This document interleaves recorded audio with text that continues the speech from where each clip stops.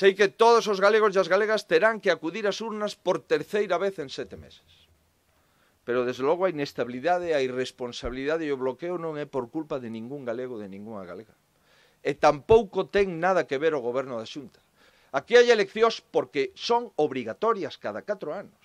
Aquí hai eleccións porque finalizou a legislatura. Nos decían que tardábamos moito en sinalar o candidato.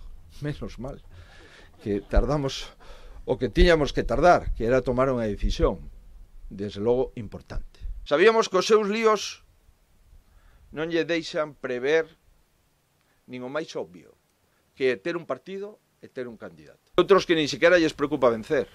O que lles preocupa é que a victoria democrática do Partido Popular non nos permita gobernar con maioría absoluta.